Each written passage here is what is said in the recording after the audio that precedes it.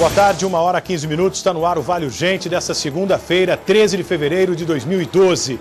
Já na abertura do programa, quero comentar a respeito desse crime bárbaro que a polícia registrou na cidade de Campos do Jordão. O delegado responsável, Fernando Pato, está investigando esse caso na cidade de Campos do Jordão. Nós vamos trazer mais detalhes aqui. Todo mundo já falou disso, né?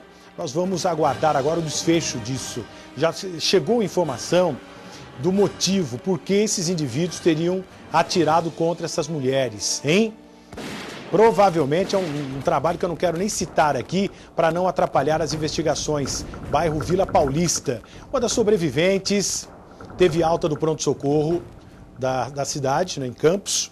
Já outra mulher passou por uma cirurgia no Hospital Regional da cidade de Taubaté e continua na UTI em estado grave ela levou um tiro no abdômen e o outro na altura do rosto. O sujeito foi lá, esses indivíduos, daqui uns dias ou daqui algumas horas, a polícia vai colocar esse indivíduo atrás das grades. As mortas, aquelas que morreram no local. Portanto, Valquíria Maria Mendonça de Godói e Ana Maria Mendonça não resistiram aos ferimentos e morreram no local. Quero falar aqui, o capitão está aí na linha já, hein? Falar com o capitão que é responsável. Primeiramente, dar os parabéns aqui. Coronel Manuel Messias. Coronel Manuel Messias é o comandante do CPI I1. Isso é importante, né? Quando a gente tem aqui né, um responsável, seja qual for a cidade, tem um capitão de fibra competente e atende a imprensa a qualquer hora. Parabéns aí ao capitão Marcelo Andrade, capitão PM da segunda companhia de Campos do Jordão. Capitão, com relação a esse crime, só a atuação da polícia militar e a primeira, né, que foi acionada para o local. Como é que foi eh, essa ocorrência? O que, que os seus homens depararam lá nessa, né, nesse crime, né, vila ou bairro, não sei como é que é chamado lá, quando chegaram no local? Capitão, boa tarde. Boa tarde, boa tarde aos amigos da, da TV Band Vale, ao nosso amigo Tony Blade. É sempre um prazer falar com vocês. Muito obrigado, capitão. É, nós tivemos na, na quinta-feira, é, a última quinta-feira passada, uma situação de tentativa de homicídio. Né? Um cidadão teria sido vítima de facadas, né? E, e a irmã da vítima teria reconhecido, feito reconhecimento no distrito policial. E essa irmã da vítima que fez o reconhecimento pessoal na quinta-feira é que foi vítima do homicídio né, ocorrido na sexta-feira né, já na virada da noite, por volta das 2h30 da manhã. A Polícia Militar esteve no local, constatou lá o, o óbito né, de duas pessoas, de duas mulheres, e outras duas mulheres também foram socorridas com ferimentos, das quais uma eh, já foi liberada e a outra permanece internada. Eh, na data de hoje, policiais militares aqui de Campos do Jordão efetuaram a detenção já de um suspeito e nós estamos aguardando as providências investigativas da Polícia Civil e provavelmente na data de hoje ainda esse crime estará esclarecido. Olha, capitão, eu, eu fico triste, né? Porque eh, esses indivíduos, já há identificação deles, eu acredito muito no trabalho da Polícia Civil e bastante na Polícia Militar que trabalha, que é o patrulhamento preventivo, né? que é a polícia que está na rua 24 horas. E o capitão disse aqui, olha, é importante falar isso para a população, porque não, esse crime não vai ficar impune, não. E eu faço questão, a hora de que prenderem esse indivíduo, viu, capitão? Eu vou pedir que a, nossa produção entre em contato com o senhor, deixe o nosso telefone, liga para a gente, nós vamos até aí, vamos dar total cobertura, porque esse crime não pode ficar impune. Onde já se viu isso? O sujeito é morto, né?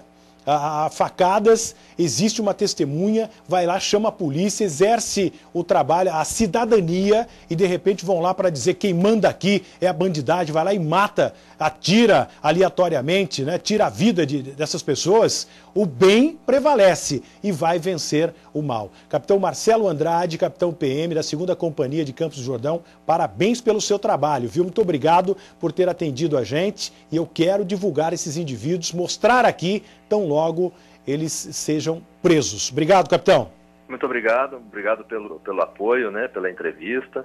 Nós estamos fazendo o nosso trabalho e eu quero lembrar que segurança pública é um contexto na qual deve estar envolvido toda a sociedade, não só o, aparelho policial, não só a Polícia Militar, a Polícia Civil, mas especificamente quanto a essa questão do homicídio, Eu peço que aquelas pessoas que estiverem assistindo o seu programa, que se tiverem alguma informação e que seja relevante para a polícia de uma forma geral, que faça o telefone, né, que ligue 190, que ligue pelo disco de denúncia e nos dê as informações necessárias para o esclarecimento e a final condenação desses indivíduos que foram os autores de, de um crime tão brutal ocorrido na cidade na última sexta-feira. Com certeza, está aberto aqui o telefone da, da polícia, telefone 190. Quiser ligar no nosso telefone, nós vamos colocar daqui a pouco aqui na tela para você ligar também. Muito obrigado mais uma vez ao capitão, parabéns pelo seu trabalho. Bom, absurdo isso, né? O sujeito quer comandar, não podemos deixar o mal liderar de forma nenhuma. Essas mulheres exerceram a cidadania, né? foram lá, viram, ajudaram a polícia, pelo menos a informação que eu nem sabia disso. O capitão que trouxe essa informação para a gente aí agora. Então isso não pode ficar impune não, senão cresce. Daqui a pouco vai crescendo, crescendo e aí foge do controle. Não vai fugir.